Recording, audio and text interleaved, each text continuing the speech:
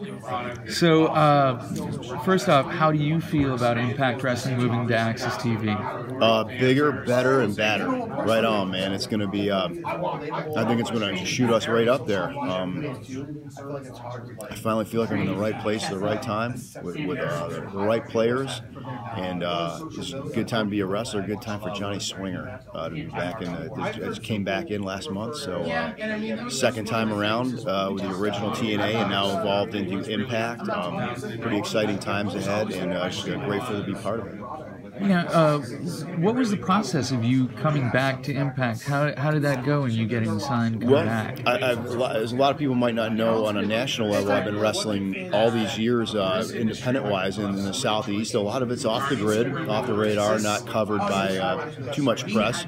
So um, I've always kept in shape, always. Um, always try to evolve my my, my work in the ring, you know, to, to stay with the times, but still keeping those old fundamentals. And uh, as far as coming back to Impact, I got a really long history with Scott D'Amore, our executive vice president. He was, uh, we go back about 25 years. He was the man behind my original break in wrestling with WCW. He was also behind me with uh, TNA. So he's always been a big Johnny Swinger proponent.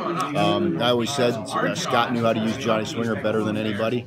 Um, other than him, there's only one other person uh, that I've ever seen do this. Paul Heyman be the other one I give credit. Will actually get in my face and do a Johnny Swinger promo with the facial expressions, the voice, and everything. And that's how I know I'm in good hands. So you know how to know what to do with me.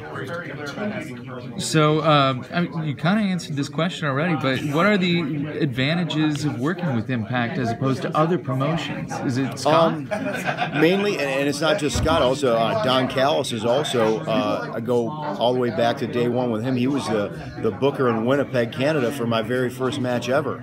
So uh, he, he was always a big fan of my talent uh, throughout the years, and then we worked together as talents in uh, the original ECW and with TNA as well. So we go back all the way. So he's always been a, a big backer of mine. Uh, Tommy Dreamer's involved in, uh, in, in, some of the creative process, and, and he was my boss and friend in ECW. So I just finally got it. Got to you stick around long enough, you you know you get better. You, you got good friends, and people move up and get in positions, and I just, all the stars have aligned for me, so to speak. So, as, as you kind of mentioned, you've worked with just about every company over the last 20 some odd years. What, uh, what about right now in wrestling sticks out to you? Does it remind you of like the Attitude Era when, when things were really cooking? Or it does. It, it does. Like? It's. Uh, I think it's come. It's coming up slower than it did back then, but I also think there's more. There's even more options out there than there were. So I think everyone's going to really have to step it up and work hard to make their show uh. I think we'll always have the base fans that are going to follow everything, but we want to hook back the big mainstream crowd and just increase the whole thing, right? And uh, I think that once they, once they see our show with the new exposure on AXS can be available to more people, I can't imagine anybody with, with some kind of wrestling interest would watch our show. And, oh, I don't want to watch that anymore. I think we're going to be able to. We can get someone to sample it. I think we're going to hook them.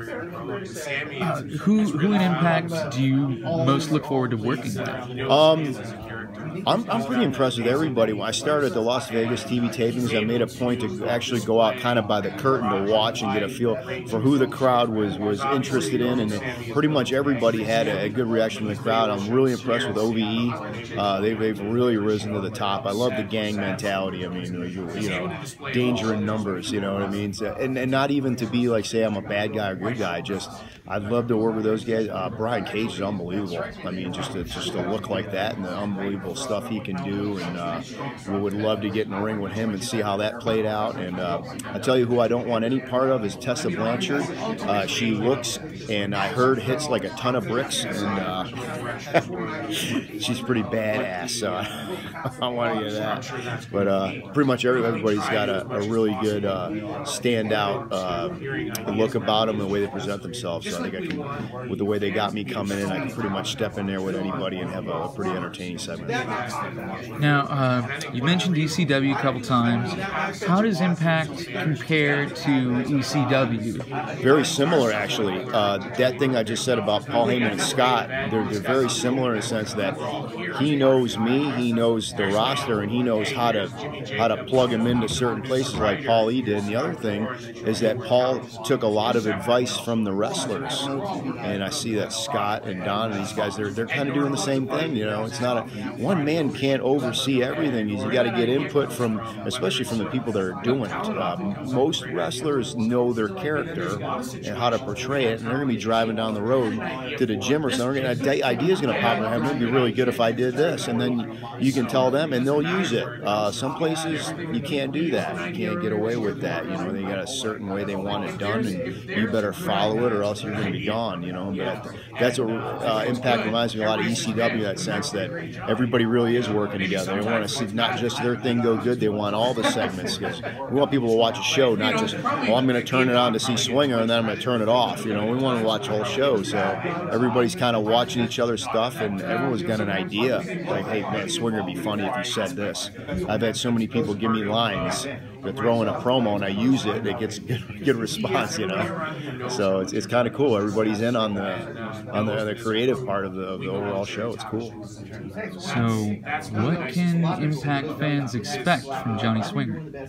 Um, kind of a new lease on life. Uh, just uh, taking all the 25 years, a long time. I've seen a lot of, uh, and like I said, the, lot, the last 15 years or so, I've been getting in the ring with Bullet Bob Armstrong and Tommy Rich and the Rock and Roll Express and all these guys that people remember from 30 years ago. I've been, I'm getting in the ring with these guys, so I picked up some stuff from them that I'm going to start putting on TV that people haven't seen in a long time. Or, uh, you know, the older uh, fans are going, "Oh, I remember. I remember that move. I remember those moves." And the younger people are like, "Well, I've never seen that before, so I'm going to get them both." Like it's just going to kind of hook them a little bit, and just try to make my matches look different, and uh, you know, just draw the people in with whatever's going on before me. I want to be different, have something that, and then keep it going. And the next match is going to do the same thing. You know, just keep the people. What was your favorite match? Uh, the, the one that stood out to you, and maybe what, best fan reaction? In, in, in any company? I, I got to say, WCW in the late '90s was just off the hook. You know, with uh, I think a couple of the matches I had with Goldberg, where he when he was the biggest thing going in wrestling, just because when I when I was a kid and I wanted to be a wrestler, that's what you dreamed about was that even if it was you, you seen yourself in the ring and then the guy come out to wrestle just gets this thunderous reaction that shakes the place. And that's what it was like with Billy. And uh, even DDP got real hot there for a while and I wrestled him when he was the world's champion. And I was like that was my favorite matches were when the was the most reaction with huge crowds you know there's nothing like it getting it feeling 15,000 people rumbling a place you know what I mean and you have something to do with it Yeah. so yeah big match in WCW TV match with Goldberg and uh, DDP, and then uh, actually having some matches with some guys that I watched as a kid, like Greg Hammer Valentine and, and guys like that. You know, and, you know, TV wrestling the guys that I was had on my wall as a kid. You know, was uh, pretty cool. You know, those are the ones that stand out the most.